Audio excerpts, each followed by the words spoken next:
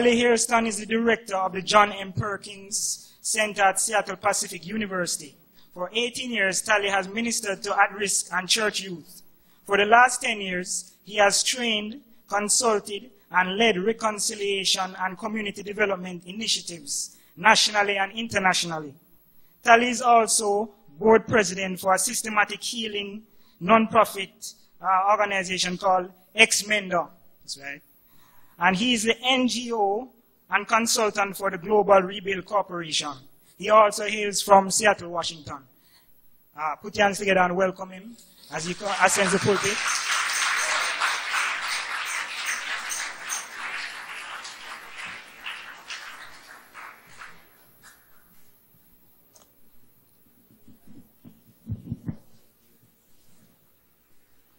Where, where are the young people who served this conference? You wore blue t-shirts all the time. Stand up. Stand up. Don't get shy. Stand up. You got us coffee. You got us tea. You got us whatever we needed. Where are you? Raise your hands so we can see you. And I want everyone in this house to give them a big hand. Come on. Come on. Give them a big hand. They, they did registration. Thank you, thank you, thank you. You made our trip wonderful by your presence and by your service. Uh, it is an honor to be here uh, in Jamaica for the first time. Uh, I want to stay longer because I love the accent. it's not fair that I can't have an accent. Uh, that I do. I'm so glad to be here. Uh, what, this has been an amazing week. If you have learned something that challenged you, that spoke to your spirit, I want you to raise your hand. Look at that. Look at that. Look at that. That's amazing. Uh, and I'm sorry. Now, this is a this is for young people tonight, right? Okay. So what I, I'm going to need the young people to do uh, and I do this at home, so don't don't be mad. Um, young people, turn to the young person closest to you and ask them this question. If you came to see me, I'm sorry. Ask them, did they come get, did, did they come looking for a hookup? Oops. Oops. Did he say that? Tell him wrong place. Wrong time. Uh huh. See, that's code, young people. We just spoke code. Your parents didn't even know what we was talking about right there. They just hook up. What's that? Uh. I'm gonna be good. Um, my boss is here, Dr. John Perkins. I'm gonna be good. Uh, everywhere I go and have the chance to uh, speak to young people, uh, I thank three people my Lord and Savior Jesus Christ, my parents, and Dr. John Perkins. This man has challenged me over the last 10 years to live beyond what I could ever imagine. And then he turned around and called me friend. Yeah, I know, messed me up too. I was all messed up. Uh, and I can tell you that very few people live in such a way that I want to follow them. As a preacher's kid growing up in the church, I can tell you I learned a lot that I didn't want to be like. But having the chance to walk with John Perkins at 81 years old, and to being able to see him wake up in the morning and do Bible studies and discipline himself to pray and to rest, and to respect family and to honor the God in him, has really transformed and changed my life. And the reason I say that is not because he's here. But the reason I say that is because in a fatherless generation, and we, we learned something, didn't we, this week, didn't we, about fatherlessness? In a fatherless world, in a fatherless community, in a fatherless generation, really, those who struggle are the children. it's not, uh, let's look, look at it this way. When you look at all of the major statistics, gangs, literacy, high pregnancy rates of, of children, incarceration rates, you look at every major statistic that goes to the quality of life. I'll just use this one. Just, that goes to the quality of life and related to fatherlessness. Children suffer. We have this afternoon grieved as a community, listening to the struggle of children. Abused children misdirected children, misguided children, abandoned children. And this is uh, something we should be broken about. It is, it is hard for me to understand how we can just go out after hearing so much pain. When the church I'm not talking about your church. not your church. But when the church has decided to put a band-aid on cancer,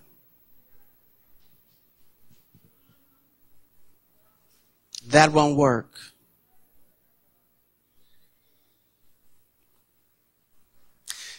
But let me tell you something. Whenever you come to a place when you realize that fatherlessness can create a curse upon children, then when God sends a word in the church, like he did the other day, that says that he's returning fathers and men back to the church, back to their families, and back to the community, then you've got to rejoice because if fatherlessness is a curse, then to have a father is a blessing. Somebody ought to say amen right there. Now, I come from the place where you have to talk back to me. Someone asked me if I'm going to uh, lecture. Uh, if you have a notebook, you might want to put it away. Uh, we're going to have church. I grew up listening to a woman out of Jamaica, West Indies, Jackie McCullough. Uh-oh. Yes. Young people don't know Jackie. I don't know if they know Jackie McCullough. She was good friends with my mother, and I grew up as a 9, 10, 12 year old listening to this Jamaican West Indies preacher who transformed Pentecostalism in the United States and has served over 15,000 people with medical missions from her ministry. And then I grew up listening to a Spanish town, thin, tall, lanky.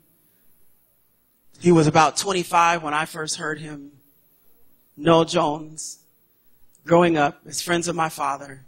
Growing up listening to this Spanish town Jamaican preach himself silly and is transformed and is considered one of the most foremost intellectuals in the United States regarding theology and church. So I've been influenced by Jamaica. My God, have I been influenced by Jamaica. I did this thing where I put on Facebook that I was going to Jamaica, and all my Jamaican friends started hitting me up with emails. Like, where you going? Why are you going to Jamaica? You left us out. So I started Facebooking back to them while we was having church and stuff and doing the service and and uh, I may be coming back with some friends next time. Because I did not realize how many of my family, my friends were influenced by people who had come from Jamaica, who had been influenced by the Jamaican struggle, by the Jamaican people, by the Jamaican life and culture. Sometimes when you live in a place, you don't see And it takes an outsider sometimes to come in and tell you how great you are. Particularly young people who come from abused backgrounds. It takes a lot sometimes to think of yourself as something or somebody. And the church can tell us time and time again how great we are, but then we struggle because our experiences don't say that. Okay, let me make sure I get all the intellectuals covered. Leading change comes from a book by John Kotter. John Kotter describes eight principles of change. Of all the eight principles, building a core group, creating a shared vision and strategy, empowering others to act, creating small successes, recognizing successive changes, successful changes, reproducing those changes, and then institutionalizing these changes. There's one that caught my eye that has to do with young people. Urgency. This leading business scholar writing for the world says this. If you want to lead change, you've got to be desperate. You've got to have a sense of urgency. And what I want to, you to want to share with you today is the story of an individual, a young lady, an orphan, beautiful orphan girl, foreigner, named Esther. Esther is this very attractive young lady who actually doesn't have parents. She's an orphan. Her cousin adopts her. Her name is actually Hadassah.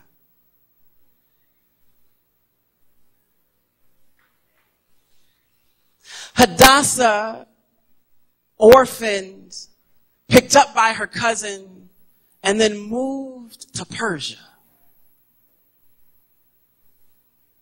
There's nothing like that in our experience today. I tried to come up with an example which you can relate to young people, and it's not. It's maybe like Lil Wayne going to Harvard. I don't know. you know, it's, it's like it's like me trying to go to a reggae club and dance. I, I, I can't make it. I can't swing it. I, it's, it's, there's just no example that could come up with to help you understand how a young lady can end up in Persia as an orphan with her cousin there's no way I can translate that to you. This is what I know, though, about her experience. And that is that if God is going to send a father into the land again, and there's a blessing now coming where there was a curse before. Then young people, you've got to get into position. Because there's a blessing coming with healthy fathers on the rise. I believe what God said so much last night, I'm acting like it's already happening. I believe that this, these, these fathers are becoming, are going to be discipled and men are going to start to walk in God's call for their lives and programs are going to start to fill in the gap and men are going to become passionate about leading again in a godly way. I'm so convinced that I came tonight all the way from Seattle to tell you young people, get into position. Get into place. Get into position. Watch this. This young lady, name is Hadassah. There are three things you've got to understand that God does when he wants to get you into position, young people. The first thing he did was he changed her identity. He changed her name from Hadassah to Esther. Esther meaning morning star. Hmm. You see, whenever God wants to change your purpose, He first changes your identity. And young people, you used to identify with certain things, but I came to tell you that when you get into position, God has to change your identity because your purpose is changing. I know, and see, this is, once again, young people who have gone through things, this is our challenge. And I understand this. Believe me, I do. Seeing ourselves as abused, seeing us as victims, seeing ourselves as depressed, seeing ourselves as volatile or hurting. I know the reason.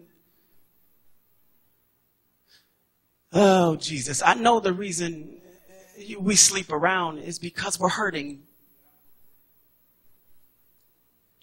Oh, it's going to get hard in here. I know the reason that you're, you're, you're abandoning your family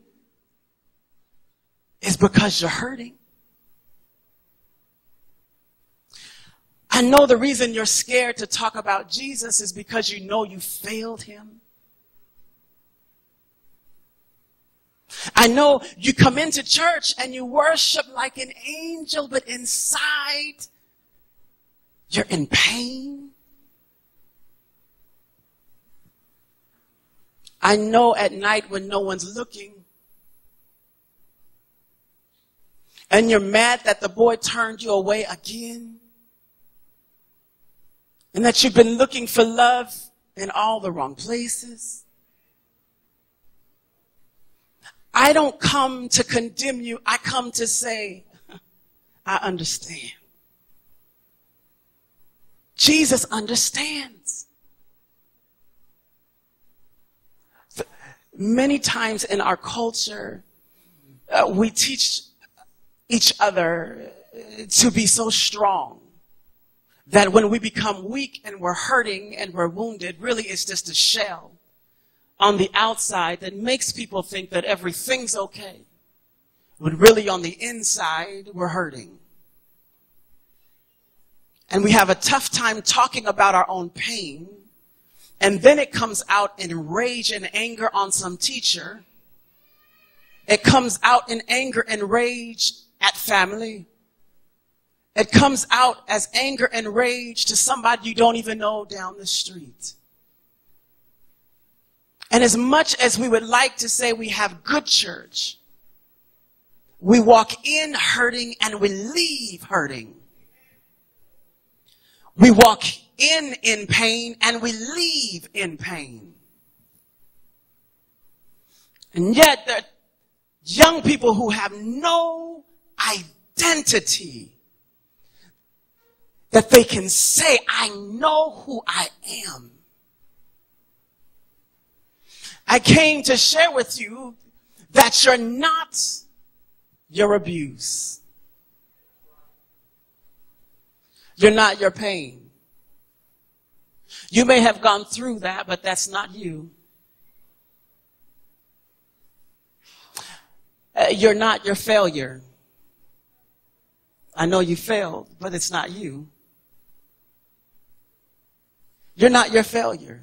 Yes, you failed, but that's not you.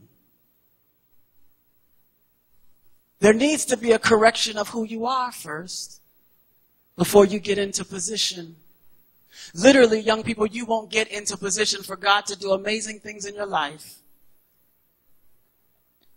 until you know who you are. And the pain and the struggles and the anger and the rage and the depression and the fear, the, the, the, the, the, simple anger at not having somebody there to protect you at night busy parents. Parents who stick you in front of an Xbox or video game. Parents who barely hug you. Parents where you don't even know where they are most of the time. That anger, that frustration that is boiling on the inside of you. That's not you. That's not who you are. I came to say that you are more than that. You are so much more than that. There is so much more to you than what, you what you're struggling with. And when you get in church, the church has the audacity to condemn you for your struggle, but has no power to help you get out of what you're in.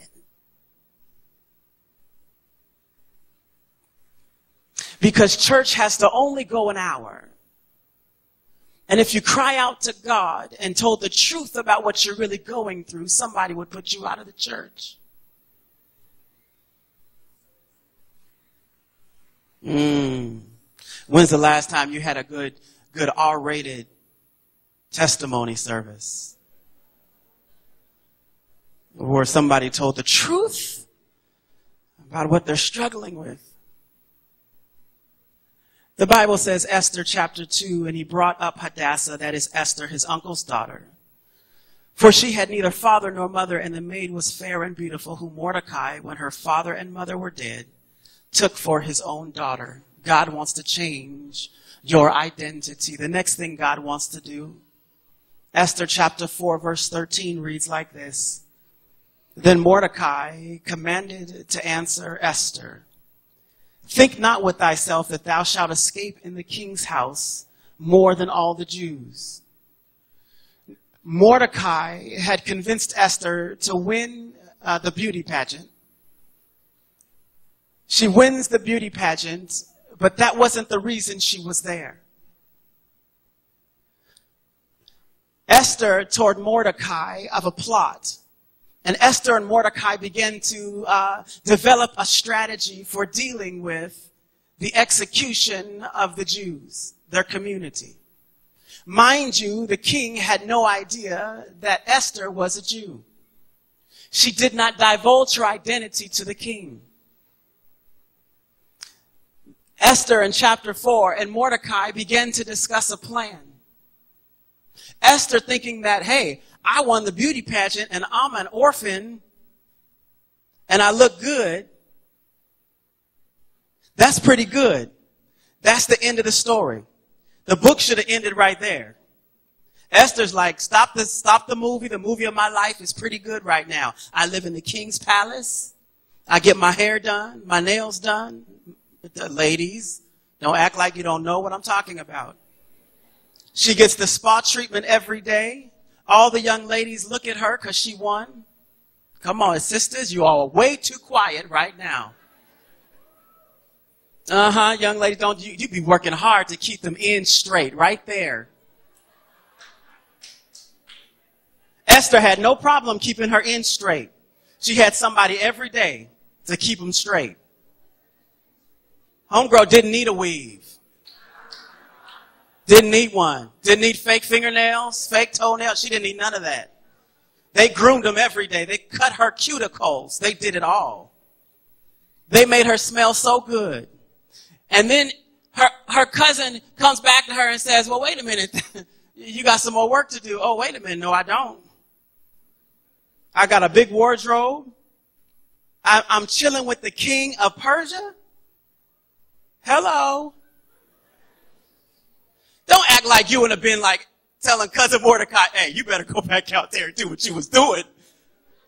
You got me in the kid. I won the beauty pageant. I'm cool. Don't act like you would have been like, go back to the king and what? Tell him what?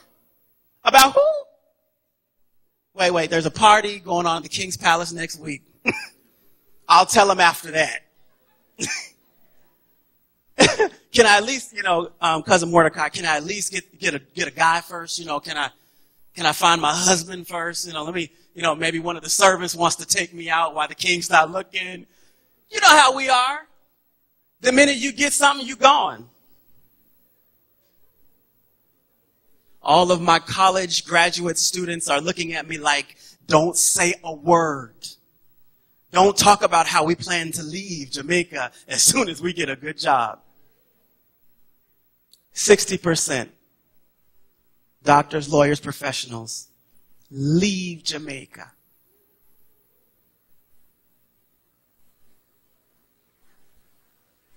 Esther had the chance to leave. Leave her people. They did not know who she was. You know how you go when you get your, your college degree, you know. Yeah. And when we got them here, don't y'all know you, you bright, smart students are in here and you're like, I'm going to act, I'm going to lose the accent. I'm going to move. I'm going to leave all of this behind. All of this pain, all of this suffering. I'm going to work in New York. I'm going to go fashion nuts. That's right. I know. We, I don't talk to y'all. I ain't, I ain't lying. This is the truth. Esther had a chance to do the same thing. Listen to what Esther and Mordecai say. Esther says, uh, Mordecai says, For if thou altogether holdest thy peace this time, then shall there an enlargement and a deliverance arise to the Jews from another place. But you and your father's house shall be destroyed. And who knows whether thou art come to the kingdom for such a time as this. Hmm. This is what we call in theology a kairos moment.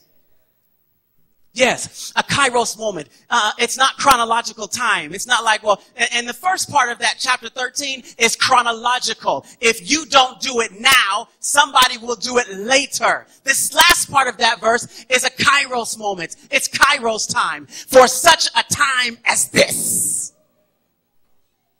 See, young people, you've come to Jamaica, to this city, to this place, to this location, to this church tonight for such a time as this.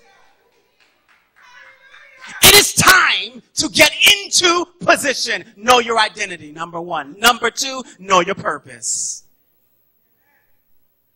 Esther is told by Mordecai, your purpose wasn't to be beautiful in front of the king and sashay back and forth. Your purpose was to save your people. Your purpose was to save your people. Don't think, as we saw last night with my brother from Trenchtown who had been shot seven times, don't think that the seventh bullet didn't work so you could go back to doing what you were doing. He saved you for such a time as this. Don't think, my brother Ezra, you went from, from ganja to Jesus. That's what you told. So in four years, you could maybe get, no, for such a time as this. Your purpose is to save your people. Esther had to get over the fact that it was about her. And I know young people, we treat you in the church like the church is all about you. We want you to come to church for you so you can be better. And then we don't give you anything to do and we have you sit there all day. And then when you get mad and leave, we act like something wrong with you. I'm not talking about this church. I'm not talking about your church. The other church. Notice this. Esther had to come to the place where she realized her purpose wasn't about herself. God is not taking you through what he's taking you through so you could feel good about you. I know that's the first step, but the second step is his purpose for you is for somebody else. I, I was going through something so painful. I literally cried every day for two years. Literally cried every day for two years. And I got to church and I was preaching or something and afterwards, this woman came up to me and she said, I've been watching you. I mean, I just, can I, and I'm just going to be real. She said, I've been watching you. I know what you're going through. She said, but the way you went through it blessed me.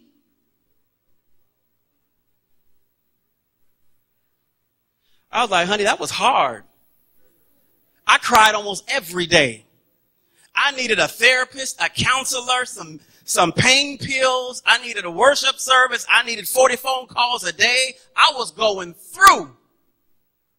Now, everybody in here looking at me like, Jesus.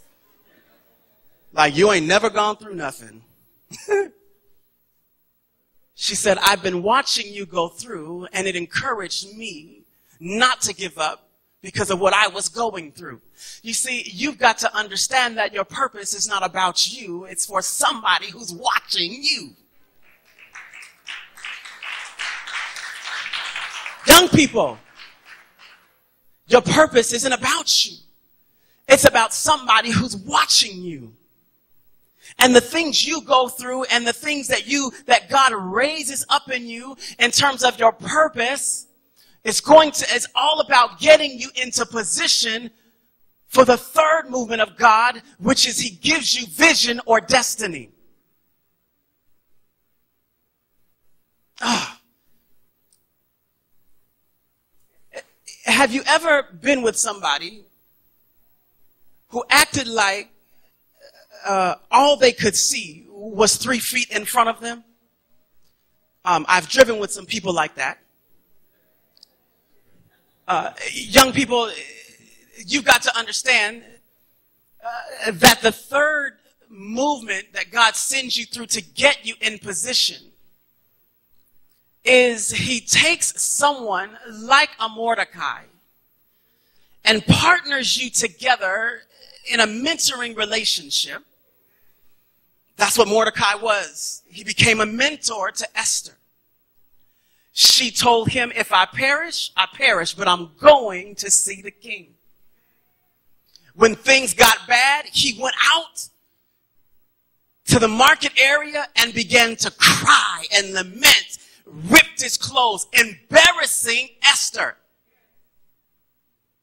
Mordecai comes to the gate. Esther says, what are you doing? You're making me look bad. Take these clothes. He says, no! There's still a plan by a man named Haman to destroy our community.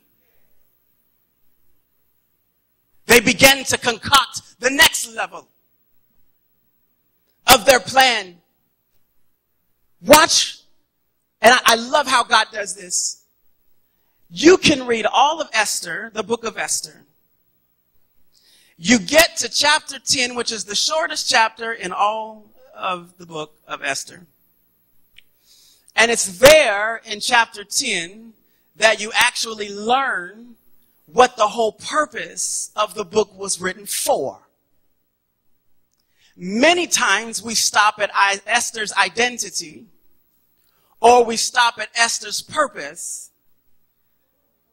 The power of this text comes in chapter number 10, where it says in the very last verse, for Mordecai the Jew was next unto King Ahasuerus and great among the Jews, and accepted of the multitude of his brethren, seeking the wealth of his people and speaking peace to all of his seed. Not Esther, Mordecai.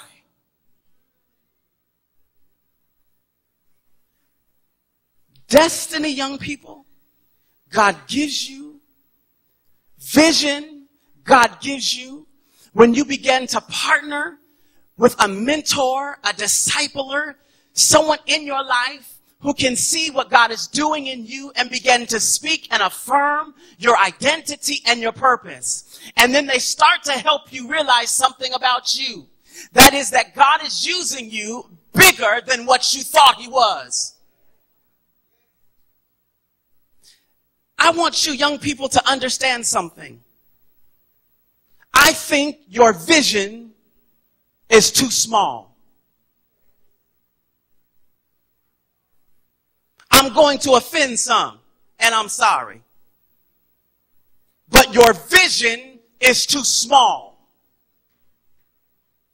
You are just satisfied with making it. Your vision is too small. I don't, I don't, I don't mean to hurt your feelings, young people, but just getting by isn't destiny. Somebody ought to shout hallelujah. Turn to the one next to you and ask them, Are you just want to get by? Uh huh. Uh huh. You just want to get by. Just want to make it. You know, if I can just get, get, get through high school, if I can just, if I, if I, well, if I get through college, just get a good job, I'll be, you know. Man, if I can just find me a man, if I can just find me a woman, I'll be good, you know. Man, if I can just give me a car, just get some rims. Man, if I can just give me some new Nikes, man, I'll be all right. I'll be all right. Man, if I can be popular, oh God, I'm just good. I'm just good. Young people, you know how we think. Don't act like I'm not telling the truth. Oh man, if I can just be accepted at school tomorrow. Oh, if I can just, if I can just pass this test. I hate to tell you this, but your vision is too small. You need to start studying like you can write the test.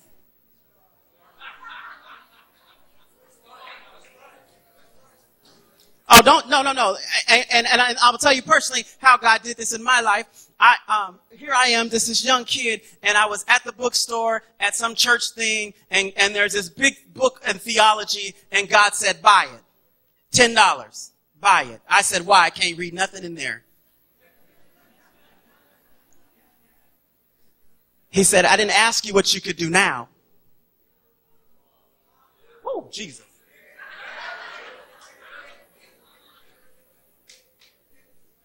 Your vision is too small. I started reading what I didn't understand until I understood it. Woo! My God. Woo! Uh-huh. Your vision is too small. You keep asking for one when you need to ask for ten. Your vision's too small. You keep figuring out just how you're going to get a man. You need to figure out how you're going to have a family and travel the world and tell everybody about what God can do. Your vision's too small. Mm-hmm. You keep thinking about just having a business, and God said, I want to have you, I, you need a corporation. To save Jamaica, you're going to need two or three corporations in every church.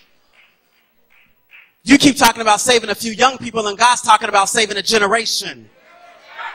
Uh huh. You keep talking about, well, if I can just get my hair done, you need to realize God wants you to own a salon. So, so yeah, that's right. I, oh, Lord, have mercy, Lord Jesus.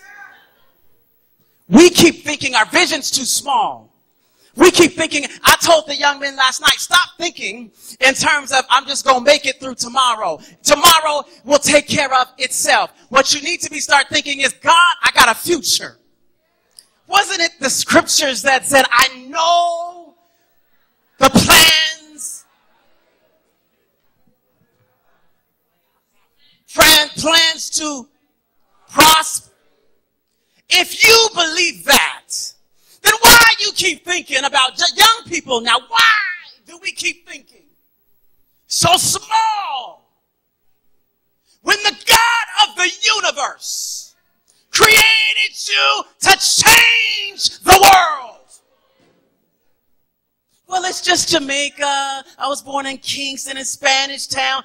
You're thinking too small.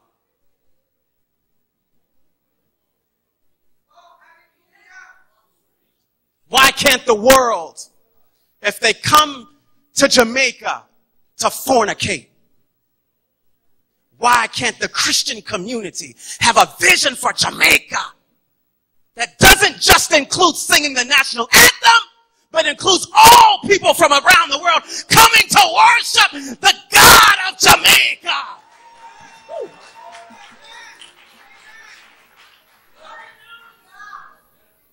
Said it couldn't be done? What doubting devil said it couldn't be done? Who said you couldn't lay out a 10 year plan to no longer be the murder capital of the world? Who said? Who said you couldn't over 10 years track the decline, the declining rate of promiscuity in your country. Who said you couldn't do it? Who said you couldn't be the prayer capital of the Caribbean? My God from glory. Who said you couldn't do it? Who said you couldn't send young people all over the world as a witness for Jesus Christ? Who said You, you have to be the place where nonprofits come to take pictures of poor kids. Who said you have to be that place? My God, your vision is too small. Young people get into position. God is sending a blessing. And when change comes, all of you who went back to cooking jerk chicken, going from Sunday to Sunday, acting like everything's all right, while the rest of us said, no way. Mm-mm. The next generation of young people to come out of this country will be responsible for a radical change in the way we live and how we are known. They need to change the billboards. They need to change the marketing for this city and for this country. They're going to have to change how they shoot movies about you. They're going to have to change how they talk about you. They're going to have to change how they, they publicize this community. They're going to have to change it because when God opens up his windows, a blessing. When God opens up your eyes, when God takes wounded, broken children and makes them in, the, Lord have mercy, makes them queens and kings corporate executives, lawyers and doctors, healthy mothers who love not only the children in their house, but children all over the village. Healthy fathers who take in kids that they don't even know. Come on, eat at my house. Come on, come fishing with me. Kids that nobody wants. This generation of young people learns how to pick them up shake them in the face, look at them in the face and shake them and say, no, you ain't a punk. You ain't a G. You ain't a homeboy. You God's child. Uh, I'm done. I'm going to tell you this story. Uh, I come out of a middle class home, preacher's kid.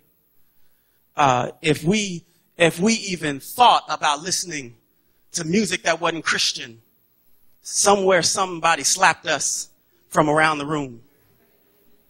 We wouldn't even think about it. We had to hide to dance. We'd be in the corner. We wait for our parents to go to bed and we turn the radio, the clock radio, uh, to the, to the, to the, the, the, the R&B station, the hip hop station. And we'd be listening to it like, ooh, we being sneaky.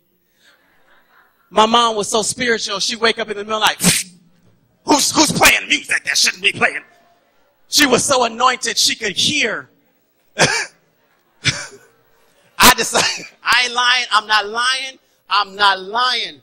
I was, I kid you not, I was on Facebook this, uh, the other afternoon, and I was kidding with some friends about Jamaican rum. My mom Facebook, or for everybody to see, she said, you are there to work. I said, yes, ma'am.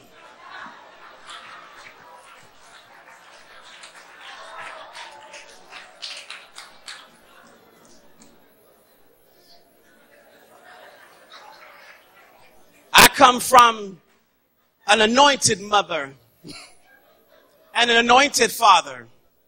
I decided in the fifth grade I was going to cuss and be and fuss and fight. They pulled me aside without ever hearing a word from a teacher. No one called home. No friend said I was doing anything. My parents pulled me aside and said, the Spirit of the Lord has told me. I said, gee, can a brother, I'm in the fifth grade, can a brother just have some fun? I mean, it's not like I'm going to do much. Jesus. I, I, come from a middle class family. I'm spiritual church going. I went to church Tuesday for Bible study, Wednesday for youth service, Friday for saints meeting, Saturday to clean up the church, and Sunday, Sunday school, 11 o'clock service and 6 o'clock service.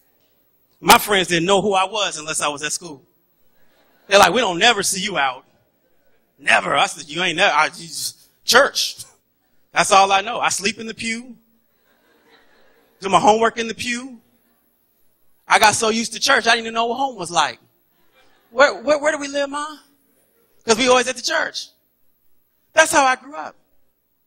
So fast forward, God calls me into street ministry with thugs, hoods, and my first trip to the hardest, one of the hardest schools in our city, I got out my car, dude yelled out the window, hey, you blank blank square. I got back in the car, closed the door, and drove away. I said, oh, that's the devil. It's time to go.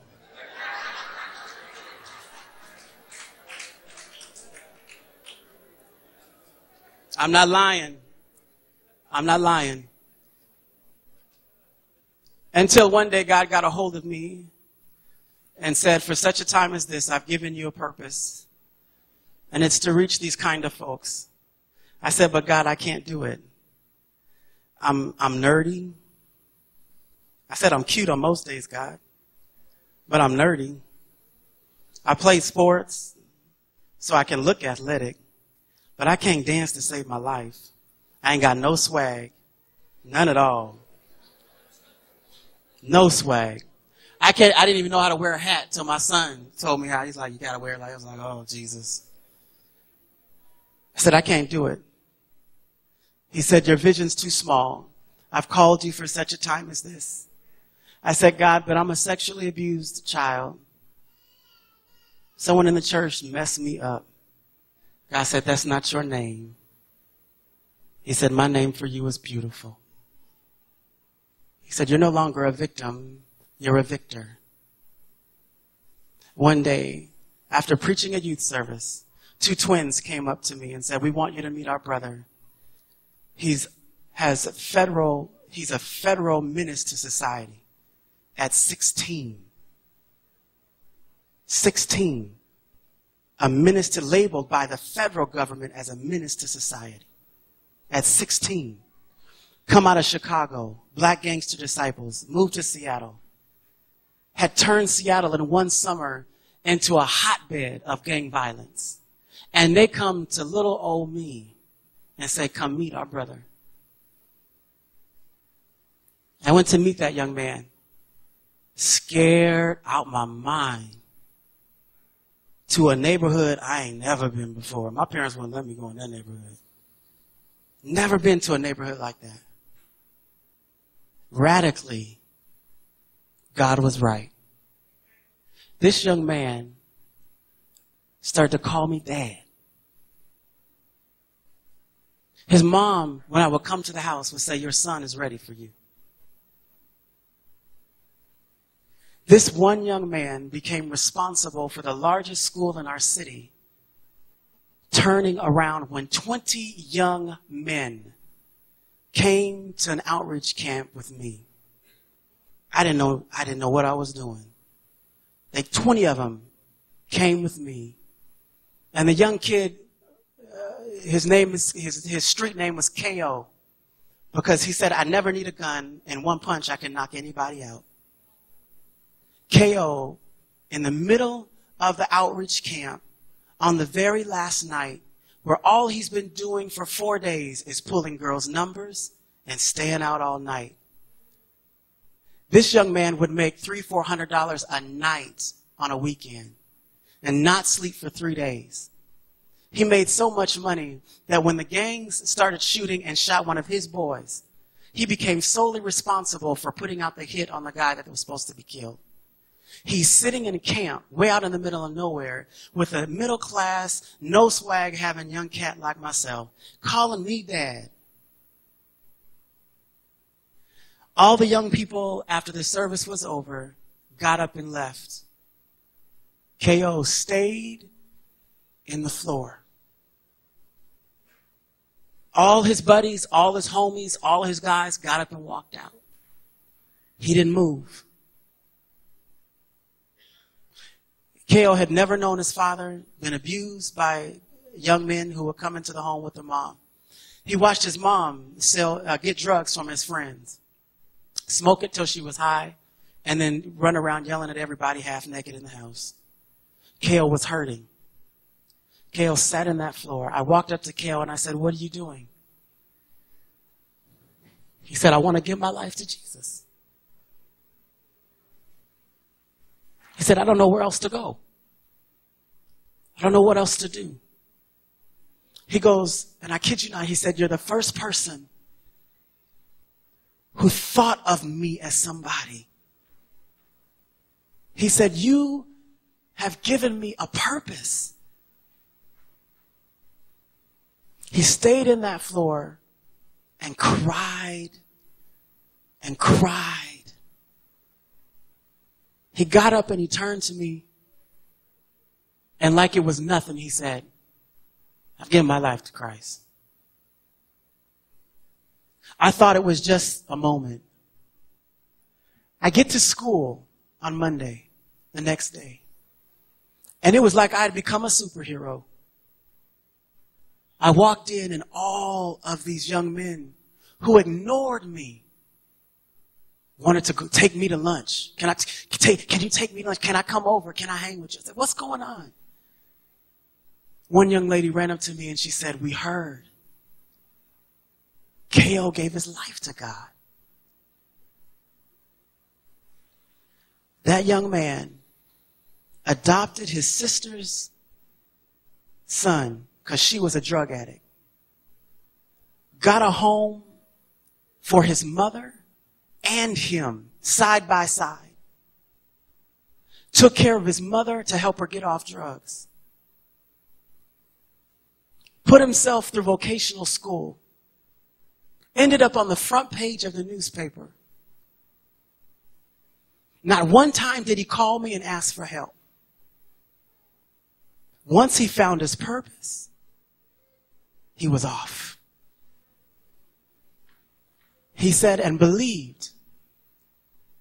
Tali, I believe God has a plan for my life. Every one of his friends who were in that gang, within a year and a half, were dead from gunshots, gun violence, dead. Young people, your vision's too small. Your destiny is greater than you think.